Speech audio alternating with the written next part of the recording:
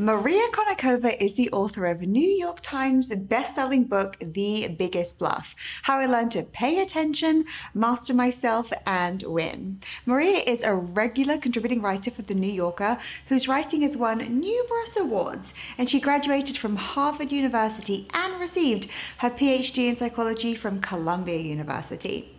While researching The Biggest Bluff, Maria became an international poker champion in just one year and the winner of over $300,000 in tournament earnings, and inadvertently turned into a professional poker player under the tutelage of Erik Seidel, master player who resides in the Poker Hall of Fame. You are going to love this conversation.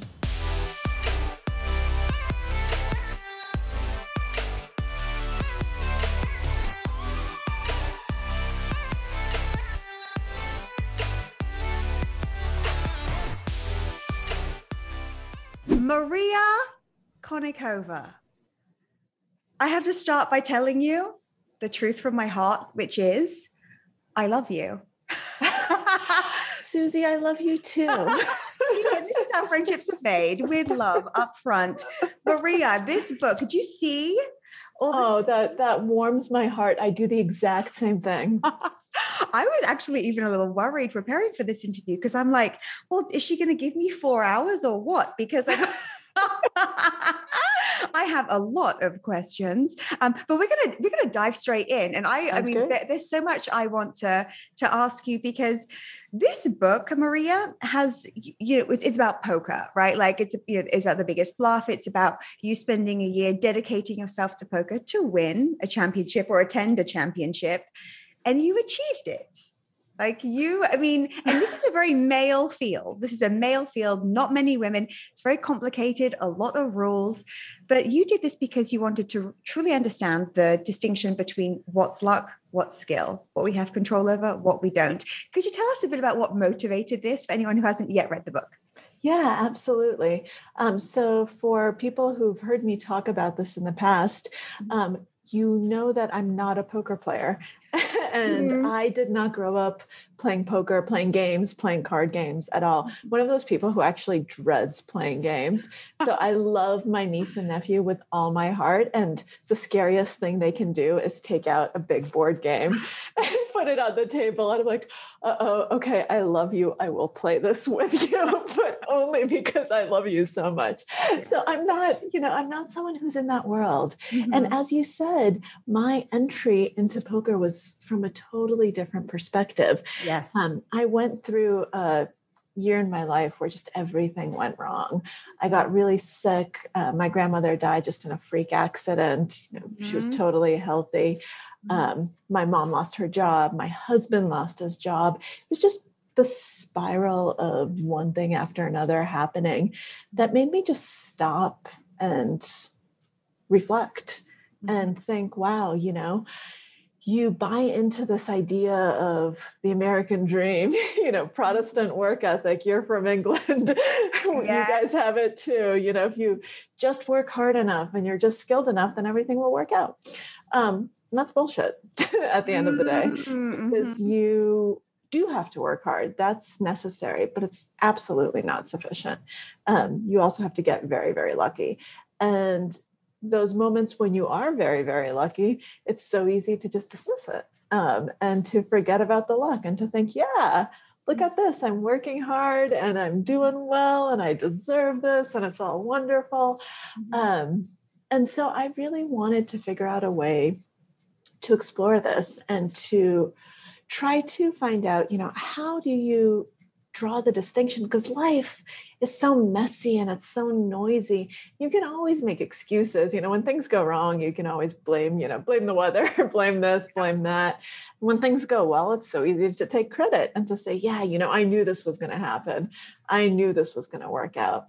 And it's so hard to disentangle the two. And one of the things that um, I'd studied when I was in grad school in psychology was the illusion of control, which mm-hmm. is this idea that we think we're in control when we're not when we're in situations where we're not we attribute way too much skill to ourselves. Um, and so how do you you know how do you get past that? How do you not just explore that but actually become a better decision maker? How do you actually learn to understand what you do control and how to maximize your skill but at the same time figure out what those limits are and where you know chance and variance take over and where you just need to learn to let go because that's also part of it. You know you need to control the things you can but then when you can't control it got to just take a deep breath and let go and uh, let the cards come as they will. Maria, I'm like, can this, can Maria be my life coach? I'm a life coach. I'm like, can Maria be my life coach? Because I swear this is a book about coaching because it's about the brain, right? It's about what our, our interpretation, what we assign meaning to, what we've never assigned meaning to. One thing that I thought was so interesting in the book is how you explain that when it's good luck, we're like, oh yeah, I kind of earned this. I'm on a roll, right? When it's bad luck, we're like, oh, I'm a, a good break is coming. There has to be a reason to this. I mean, I've even I haven't had that recently recently, I think extra because I was tuned into your book and the message. I heard someone say on a flight, Oh, I've had a couple bad weeks, something good's got to come my way. and it's so funny how we kind of make these yeah. inferences and we believe like i'm lucky this is my this is my reward or i'm on yeah. a there's a streak here or you know things haven't been going so great something good has to come my way yeah gambler's fallacy and, and, you know in with gambling with poker specifically you know there's statistics there's observation which pay attention. We're going to speak about that in a moment. Um, there's superstition. There are so many kind of facets at play like so many moving parts. And you had such a concentrated time frame to learn this game. And of course you want to win because you're playing with real money right? Your money there is risk here and there is there, there are so many kind of moving factors. When when i read your your subtitle how i learned to pay attention master myself and win i know your coach Erik Seidel uh, told you always to pay attention. Can you tell us a bit about that and the role that played with your success? Yeah um, it was the first thing he told me when i you know was dumb enough, naive enough to ask if, you know, what's the one thing I need to do? the one thing now, yeah. exactly, exactly. Right. Tell me the one thing. Yeah, yeah. I'm right. One thing. Yeah. uh-huh. and rather than like say, are you insane? Mm-hmm. He said, something which I still go back to all the time because it's so deceptively simple, those two words, right? Pay attention. And yet it's one of the hardest things in the world. It's yeah. so hard to pay attention because the way that, so you mentioned that the book does kind of dive into the brain, and my training originally was in psychology. Mm-hmm. And what you know from psychology and from how the brain works is that our default state is to mind wander. So the brain actually, by default, isn't paying attention. It's constantly scanning the environment to see what it should pay attention to. Because back when we were evolving, you know, all these threats all over the place, and you know, you have to kind of let your attention drift to figure out who's going to kill me what's going to kill me you know what what do i have to focus on uh-huh. um, and these days you know it's it's not that it's notifications on your you know on your iphone or whatever it is. Mm-hmm. but it's always diverting our attention in kind of in, in that same way and so when we want to actually pay concentrated attention it's really hard that is what takes resources effort cognitive effort, emotional effort, because you have to make a conscious choice to be present, to be mindful, to be in the moment, to focus on what's going on in front of you, and to not let your attention drift. So you make a conscious choice to put your phone away. You make a conscious choice when you're sitting at the poker table to actually follow what's going on always, even when you yourself are not actively involved in a hand. That's your time to observe, to see what's everyone else doing? To try to pick up on all of the cues on what they're saying but not saying on the dynamics.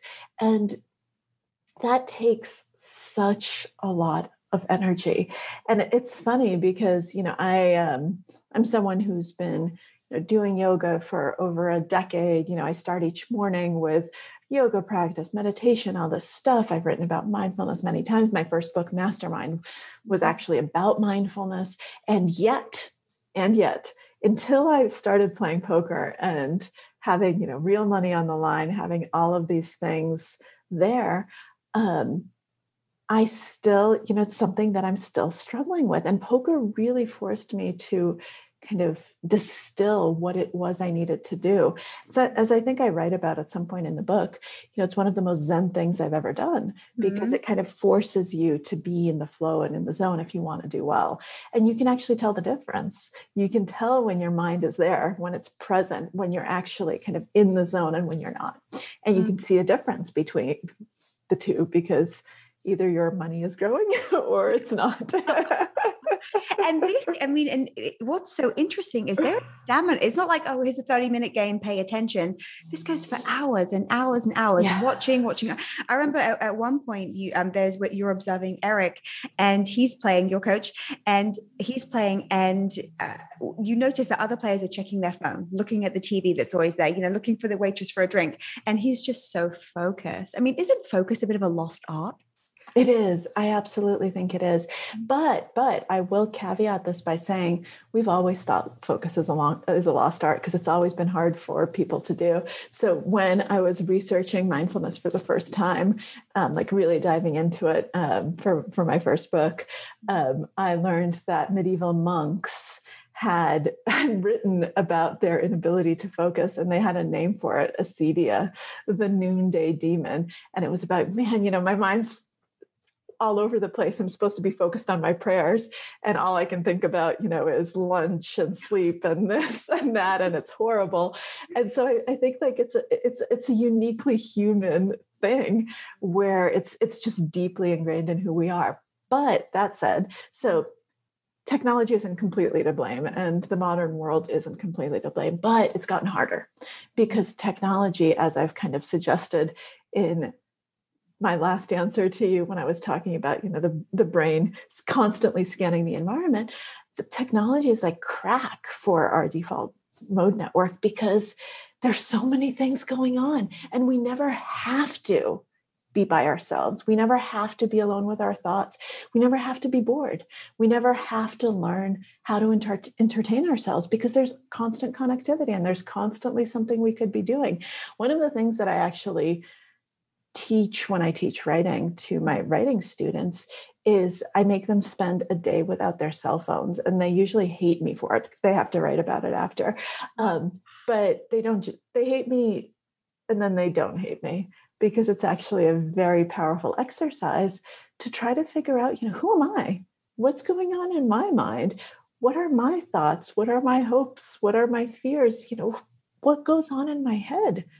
And we never take the time to focus on that because we're always distracted by something else. Mm-hmm. Um, and so we lose the art of engagement we lose the art of focus of of presence um, yes. and so and so i think it's it is an increasingly lost art but i'm optimistic that it's one that everyone can reclaim if they choose to and you say in the book that you, you, you, say this more than once the importance of being reflective versus reactive. And this is actually, I mean, truly, this is coaching on, on so many levels. It's like someone said something, I'm going to get her. He said, you know, he did something, I want to straighten him out. Like there, there's rarely a breath or a, and you actually share one of my favorite stories in this book too, towards the end, the story about the village farmer. Yeah. You guys, I, I'll link to that story too, but it's an excellent story, which is, you know, really not making assumptions about what's good and bad. And you have so many delicious quotes in this book too from so many great writers in history. But you know, not not making a snap judgment. This is good. That's bad. And what I learned from you, Maria, which completely fascinated me, was in poker, it's not the best cards that win most of the time. Like it, there really is this human element. It is the dance, right, between the, the cards and then your own decision making. But I feel as you know, learning from you this ability to be reflective, to pause, to choose like and to, to keep yeah. choosing. And i have to say this is i've never heard this before ever in, in anyone. And i've also it, with athletes i mean truly i've never seen this. You've had a spreadsheet working with a coach yourself to monitor measure track your emotions can you tell us about that? Because I, I wish everyone, including me, did this. yeah. Um, so I, I, ended up working with a mental coach as well, Jared Tendler, mm-hmm. um, who was great and who really helped me identify a lot of the emotional issues that I had that I didn't think I had because I'm a psychologist. I know this, you know. I'm good. I've studied this. Uh-huh. Mm-hmm. I'm not supposed to have, you know, I'm not supposed to have any weaknesses in my mental game. Mm-hmm. Um, but one of the things he asked me to do at the very beginning, which I didn't do right away because I thought it was stupid. and it took me a, a, while to actually do it. And then I realized, damn, like he knew what he was talking about. Physically doing this was was very important. It was to make a spreadsheet. And it had different columns. And it was one of these things where I had to learn to figure out, okay, you know, how am I feeling at this moment? At different moments in, kind of the poker tournament i'd have to monitor it. What happened? You know what's the trigger? Why am i feeling this way? Okay let's dig down even deeper. Let's figure out why this is a trigger. And then and this is really important what am i going to do next time? What am i going to do next time this happens to avoid getting into this emotional state so that i can keep making good clear-headed decisions? Because the truth is that once you're emotional once you're in that hot state it all goes out the window. If you haven't prepared and you don't have a game plan and you don't know exactly how you're going to act, you're going to break down and you're not actually going to be able to execute it. And oftentimes you even see yourself, this has happened to me so many times, going through this emotional state in poker. It's called tilt.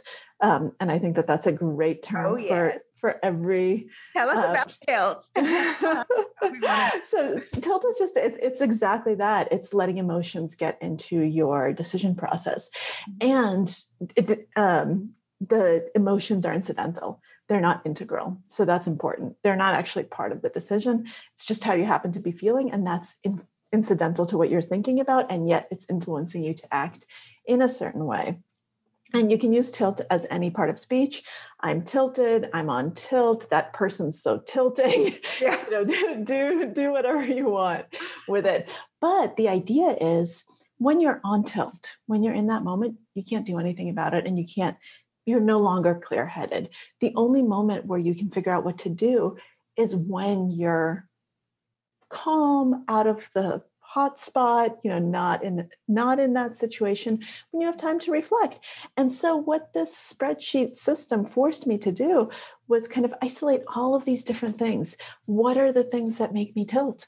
What are the things that affect me? How do they affect me? What do they do to my decision making? How am I going to counteract that so that I had a very concrete plan of action? Then we talked through it, of course, refined it, but only after I wrote them all down did I think through them. It's one of the reasons that I think it's actually such an effective learning tool to teach someone else what you're what you're doing because that way you have to truly understand it.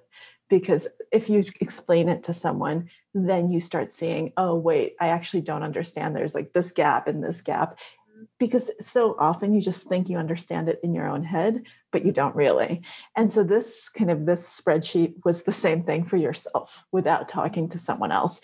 Because you can be like oh yeah yeah i know exactly what makes me tilted. I know what my triggers are no you don't not unless you actually take the time to stop write them down, think through it, and do that deep self analysis. It's not pleasant. It's not something that I think mm-hmm. is a joy to do. It's probably why I avoided it and why mm-hmm. we avoid it in general. I don't want to look inside the deep psyche of my of my mind. You know, leave that, leave that alone. I mean, but this is like the ultimate immersion in self awareness right? Which most, you know, I always think, oh, you know, I'm self-aware. I know, I know it will trigger me. Um, but to the extent that you had to do it to stay so calm and consistent, it wasn't just like a one-off, right? It's it's something that you just keep coming back to. You also speak in the book about the importance of asking why. Why am I doing something? Why is someone else doing something? And you say something funny like, imagine all the therapy all, all, the time and money we'd save if we just kind of said, well, you know, why am I doing this? Or maybe what, what is that person's motivation? Maybe it's a good one. Like, yeah. but just the agony that we sometimes feel when we don't question. And um, you also say, you know, less assumption, more inquiry throughout. Would you say that poker is just really a game to, to succeed in it, just really understanding yourself and being willing and having almost the generosity to observe and pay attention to others. I think that's a huge, huge part of it. And I'm so glad that you saw it that way because so many people are like, you know they they look at poker they look at poker players and they say oh you know vicious cruel zero sum awful you know war you're out to kill each other and sure in one sense you know there are winners and losers some people will walk away with money others won't that's just that's the game but the way that you understood it is actually what draws me to it because I think it actually has made me a much more empathetic person, much better able to see the world from others' points of view because that's what you're constantly doing. You're constantly trying to figure out what are people saying? What are they telling me? What are these dynamics? You become more observant. You become more attuned to nonverbal cues, which are really important outside of poker, just to be a good listener, to be a good friend, to be a good person. And they've made me, I think, a much mentally stronger, better version of myself, which is also good for everyone because I have done so much of that kind of analysis for poker. Then I take it from poker into my everyday life and it improves how I'm able to deal with stress, how I'm able to approach different situations, how I'm able to kind of think through different situations. And so, yes, to me, that's the beauty of the game. And that's what's interesting about it. And there's always something to learn there because at the end of the day, it's it is a game of people. It's also one of the reasons why I far prefer playing live poker to online poker mm-hmm. because there's something about sitting in front of a computer screen where all of these skills don't translate quite as much. Right. And you have these amazing stories too about different people who bluffed you, like one lady who's like showing you a picture of her kid, and you have this female solidarity, or so you think, and she cleans. So, oh God, I'm just outraged for you, and then I'm like, wow, but this is it, right? Like this is when we don't pay attention, we just we're instantly trust, and then yep. to say like because you studied con artists too, yeah, and how you could you really can never tell Mm-hmm. That's humanity in a nutshell, though, right? All of these interactions at the poker table, it's just the play of life. You see it all playing out during the day. You see people at their highs, you see them at their lows, you see what they're willing to do. You know, mm-hmm. everything kind of comes out and everything's fair game. Now, what that woman did to me, and for people who haven't read the book, you know, mm-hmm. she invoked female solidarity and you know oh it's us against all the boys and against you know the world and then proceeded to just sh- completely bluff me and take all my money and it's on me right she didn't do anything wrong mm-hmm. um, i've never done something like that because it's just not something mm-hmm. that it would occur to me to do but i'm not judging her for doing it you know smart that if she can get what she wants that way, that's great. Just understanding all of those dynamics. And yeah, our default is to trust. And even in a game like poker, when when you know that the game is based on bluffing and deception it's part of the rules you're playing a game this is not real life right the rules of the game are it's, such that you're allowed to lie you're supposed to lie Maria, my favorite chapter in this book, I mean, it's hard to say because they're all brilliant, but my favorite was the one entitled No Bad Beats. Can you explain what a bad beat is? And then we'll talk about why there aren't any. Yes. I actually want to read something from the No Bad Beats too. So if you explain what it is, I'm going to get to my quote. Great. And, we'll, so, and then a couple questions. Sounds good. So bad beats are a situation that comes up in poker um, when you get your money in as a favorite. And what that means is, statistically speaking, you should win most of the time 65% of the time, 75% of the time, sometimes 98% of the time, you're supposed to win. And then the money goes in, and your opponent hits the miracle card, and you lose. So you end up on the quote unquote wrong side of variance. You're a statistical favorite, and yet you end up losing. Bad beats happen all the time. They're supposed to one of the things that I say over and over is that statistics are statistics. They don't care if you're on what side of variance you are. They don't care about what happened before. It's kind of what you were saying at the beginning with people being feeling like they're overdue or like, yes, this lucky streak will continue. No, probability doesn't care. Probability is just probability. It just exists. Mm. And it doesn't care what happened before. And it certainly doesn't care about you personally.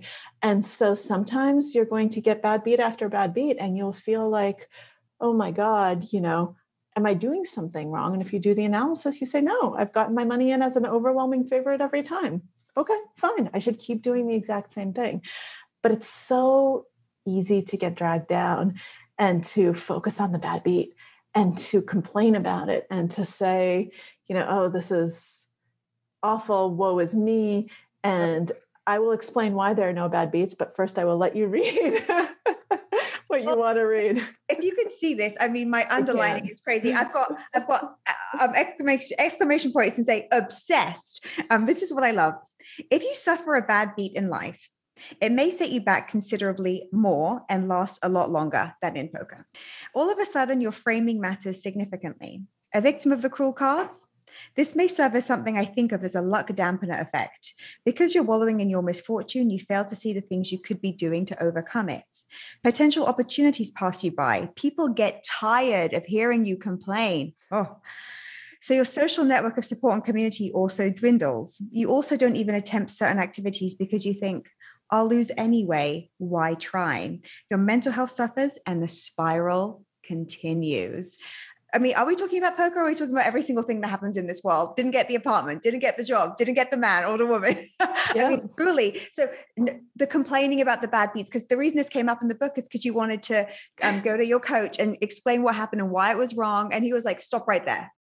Yeah, he he actually shut me up, which is if you ever meet Erik, he's just the nicest, mm. most soft-spoken, sweetest guy ever. Just an absolute teddy bear of a human being.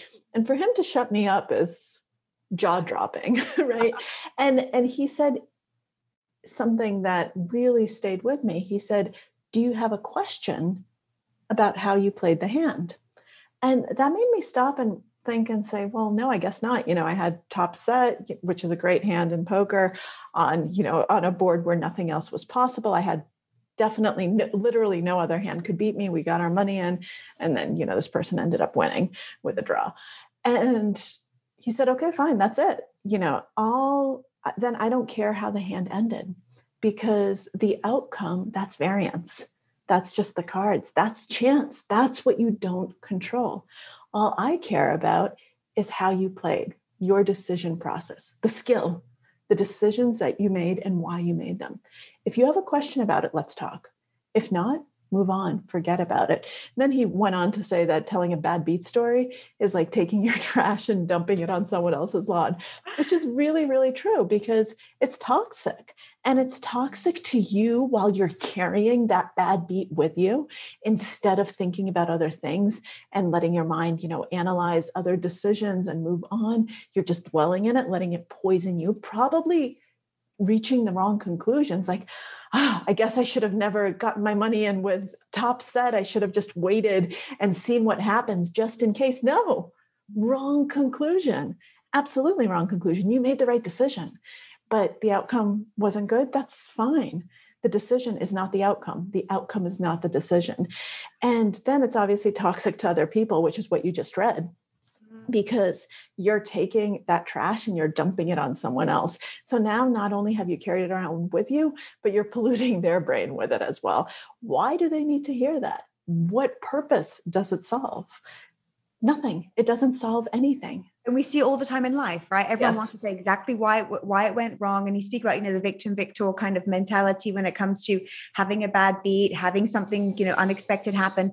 Do you think, Maria, that there is a time for um, processing any negative emotion and then going straight to okay like decision making or can you like go straight to okay i'm, I'm back to neutral reset oh, i mean i think that you know it's unfair to say don't experience negative emotion and i think it's also counterproductive mm-hmm. because you're human mm-hmm. and you know what as much as you talk about don't tell bad beat stories don't do this don't do that it sucks when you lose right? It sucks to be knocked out of a tournament. Like that moment hurts when when you when you kind of look at it and you're like damn it you know? I, I, that should have that should not have happened. Of course it's always upsetting mm-hmm. but the trick is to not dwell to mm-hmm. acknowledge it to say okay that happened. Did i make the right decision or not? Mm. and then think through it and then just move on. And I've gotten to the point, um, at least in poker, but also in a lot of life situations where I don't even remember my bad beats. Like I don't remember what happened. I don't remember why I was knocked out. I don't remember the outcome. All I remember is did I make the right decision or not? And if I did, I'm happy. If I didn't, if I actually made a mistake, that's what keeps me up at night. You know, going back and thinking through the things I did wrong um, and the ways that I actually made decisions that were potentially a little bit a little bit off. But it gives me things to work on. It gives me things it gives me a target instead of dwelling on you know oh i messed up. Okay this is what i did wrong. Here's how i'm going to work on it for next time. But that's these you know that that's more upsetting to me than making the right decision and then getting very unlucky. Um, that said you know like I said, it, it always sucks. oh, and the thing is, you know, one thing that I say or one thing that I coach on is like the, the things will go wrong, right? The, you will get rejected, you will fail, especially if you really have lofty dreams, whatever your ambitions are. There will be things that don't go your way for sure. Um, the the important thing is your bounce back timing. Like, is it a year of you know sitting it out, or is it you know three minutes? Right. What's your timing to bounce back? Are you like, I'm back in 15 seconds or are you, do you need like an hour? I mean, it depends. Yeah. For, for poker, it's, it's usually pretty quick. Mm-hmm. Just like straight um, on to the next thing. Yep. Yep. Yes. Um, but if it's, a, you know, it depends on how how bad the beat is and how long it takes me to think through it because sometimes in life you know when you don't when something really doesn't go well mm-hmm. um, it you know, it takes a long time to try to disentangle did I do something wrong? Did other things go wrong? You know, what was what was the process and what should I be focused on for next time? And that's a processing time that isn't necessarily dwelling on the bad beat as much as trying to analyze the situation and direct that energy in a productive way but I'm not going to move on until I figure it out.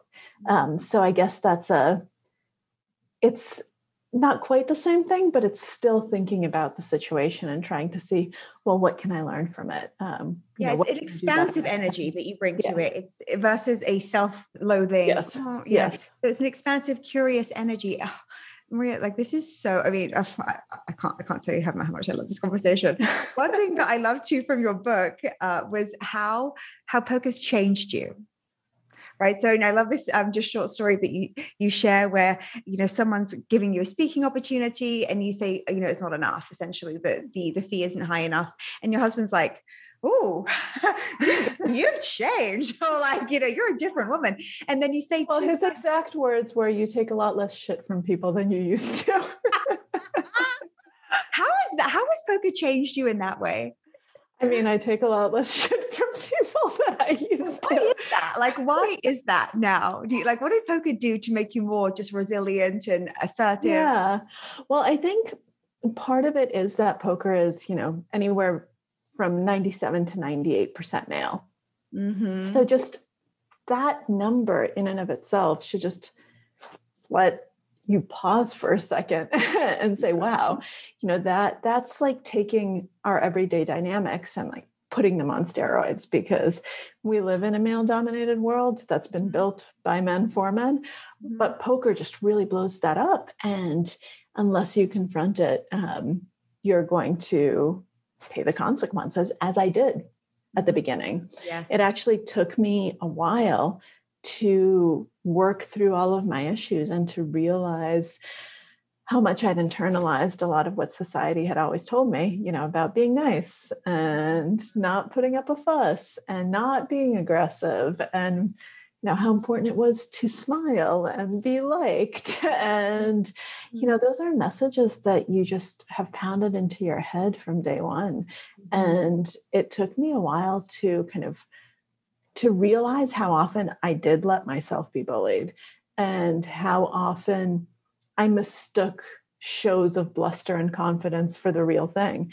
You know poker really teaches you that someone looking strong and confident is not the same thing as them actually holding good cards.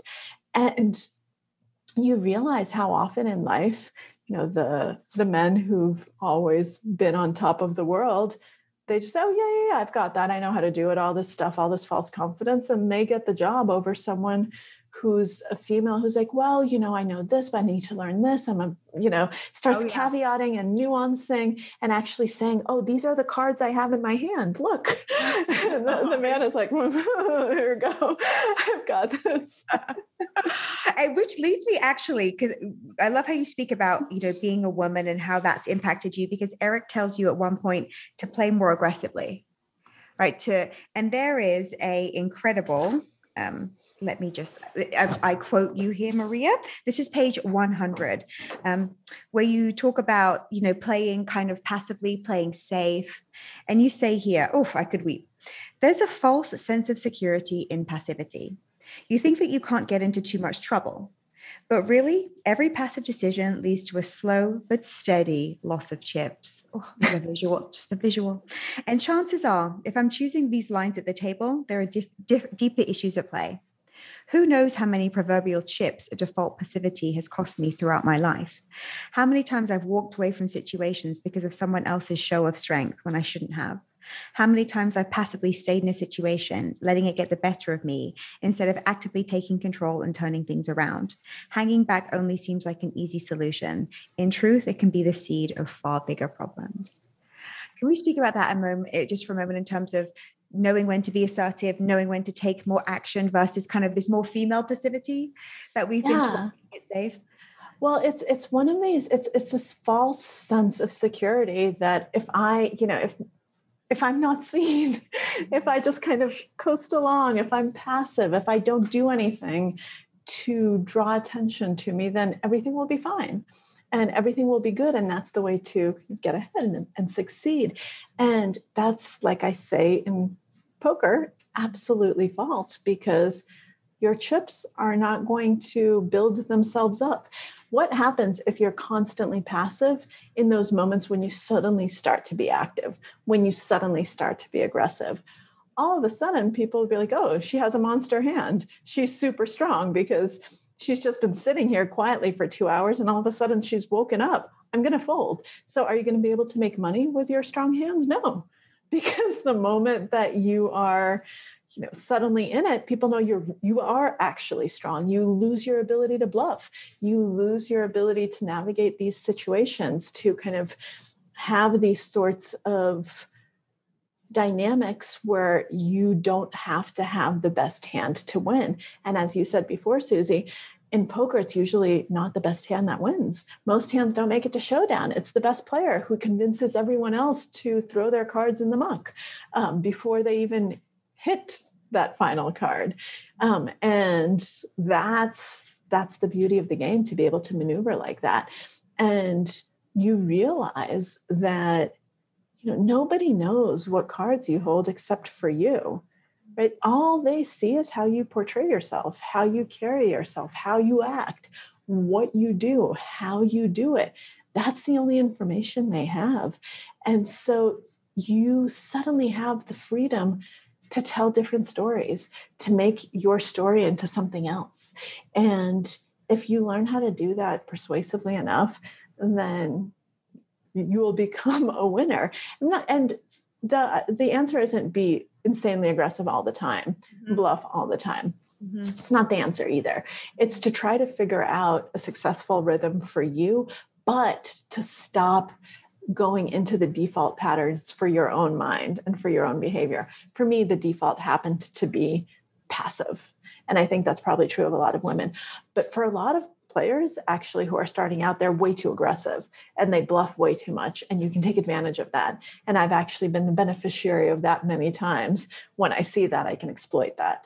Um, and so it goes back to the very beginning of our conversation and self-knowledge and learning to sit down with yourself and figuring out what are the mistakes i'm making in my behavior? What are the defaults? What's my status quo bias?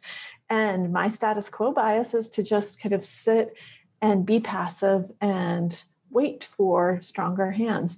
And that's what I have to fight against because it's a false sense of security to think that the status quo is is fine. The status quo is actually making an active decision um, to to remain in that status quo, and that's not always a good thing.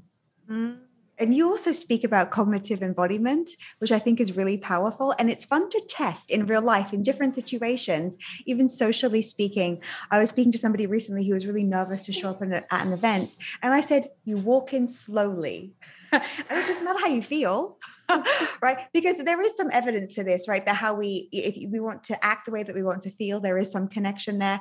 But i feel like you've truly mastered this. I mean knowing how to show up knowing kind of what's because inaction is action right? So when you kind of take action in a way that's kind of supportive of your goal even if it feels a bit uncomfortable at first or different it's the it's the game element. It is the game element. And one of the beautiful things about poker which is one of the reasons why i actually want to bring more women into the game because yeah. it's such i feel like it's a tool that they can use to be stronger versions of themselves is it is a game. And so you can play around with different elements and different personalities and different just different angles of yourself. I'm not saying become a different person, but it's a game space. It allows you to explore these different personas and to explore, you know, what embodied cognition can actually do because it's been embodied cognition is something that's been a factor in psychology for years, for decades, and yet people always push back against it because it seems like such a weird thing. But our minds and our bodies are so intimately connected. Um, our minds have so much power over our bodies, but our bodies also have power over our minds. It's a feedback loop. And so it does matter what signals you're sending. And, you know, people always say, cliches are often true to a certain extent. That's why they become cliches, but fake it till you make it. There's actually some truth to that.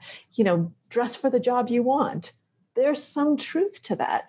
I remember when I was, you know, 21 years old, um, just out of college. I graduated young, so I mm-hmm. was I had just turned 21, just moved to New York City, kind of just starting out, you know, in this huge, overwhelming place where I don't really know anyone, have no connections. And I remembered my decision the first time I was at a party where someone asked what I did, and I said I was a writer. And it was just a conscious, like, it was a conscious decision to say that, even though I was not yet able to make a living as a writer. I was writing at night, I was writing on weekends, I was working in television during the day, you know, and doing something else. But I made that conscious mental choice to identify myself as a writer. And I think that was the first step to actually making it a reality. Um, it's not a moment that I've thought about for a long time, but I think it's very appropriate here. It is appropriate here. Say what say what you want to be. Say the thing. Like take take the and look. Well, one thing that I've learned, you know, from you, Maria, is there is risk. This is, I mean, people will think poker gambling like your grandmother in the book. You must read this book, my friends. I truly, I know you have to to run, Maria. I could truly, I could keep you forever. Be careful. Um, but there are so many stories here about eh, what you had to overcome. Even you know, people in your family entering a completely new world. Even just the the the geographical, like the casino style, everything you just had to this reads like fiction. When I read a book, when I read a book that's nonfiction and reads like fiction, I'm like, wow. What, I mean, it's it, it's it's it's so gripping. You could just read it again and again. And Maria, uh, where like where can people find you? At, first of all, or two things. I want to know if people can find you so we can direct them there. But also, what's next for you? Like, what can we expect from you, Maria? What's sure, coming? sure. So people can find me um, usually I'm most active on Twitter and also Instagram. So mm-hmm. I'm M Konnikova on Twitter. Um, on Instagram, I'm girl named Maria, but girl doesn't have an I because someone else took that handle. And one day I would like someone to please get it back for me. no I in girl. Got it. Yeah. um, and I have a website, mariakonnikova.com, but I'm very bad at updating it. so oh, it's a little bit out of date. Uh-huh. But that's that's normally where I am. I don't spend much time at, on Facebook at all. So that's probably the worst place to find me. And then um, next, what can we Yeah, so I'm working on a bunch of stuff, some of which I unfortunately can't talk about, okay. um, but other things that I can talk about. I will say that some some of it involves screen, so I'm actually moving into new type of writing. Um, and I'm actually in Vegas right now working on a new project for Audible. Um, so yeah, it'll be an Audible original. This is actually my second Audible original. The first one I've already done, but hasn't come out yet. So you guys can expect it out um, in a few months. So for all of those all of those people who actually enjoyed listening to The Biggest Bluff as opposed to reading it, this one's for you because it's going to be audio first. Oh, Maria, thank you so much for the work that you do for, for being here with us today showing us how to master ourselves how to win how to pay attention this, these are truly valuable permanent life skills tools that you can use just I can't think of a situation where they're not relevant. So thank you, Maria, for your generosity, for being here, showing up, um, and teaching us so much. I've learned so much from you. Well, thank you so much, Susie. This has been a wonderful, wonderful conversation. And I too feel like we could speak for hours. Oh, so I'm coming. Thank you. I'll be on the next flight to Vegas. Be careful. All right, let's do it. thank you so much, Maria. Thank you, Susie.